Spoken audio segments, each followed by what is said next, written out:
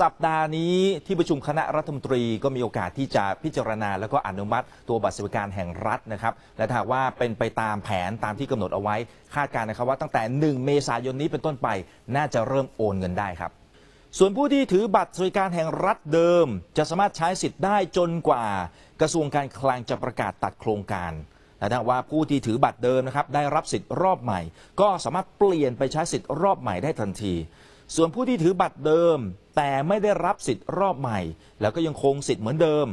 กระทรวงการคลังจะชดเชยให้ตามสิทธิ์ที่ต้องได้รับต่อไปนะครับท่านี้สิทธิ์ในโครงการบัตรสวัสดิการแห่งรัฐรอบใหม่ก็ยังคงเดิม และขึ้นอยู่กับนโยบายรัฐบาลใหม่ ว่าจะเพิ่มขึ้นได้หรือไม่ ในขณะที่ผู้ที่ไม่มีชื่อ เพราะไม่ผ่านคุณสมบัติก็สามารถยื่นอุทธรณ์ได้ที่ธนาคารกรุงไทย ภายใน 60 วัน หลังจากการประกาศรายชื่อ และคาดว่าผลการอุทธรณ์ก็จะทราบผลในช่วงเดือนพฤษภาคมนี้เป็นต้นไปนะครับ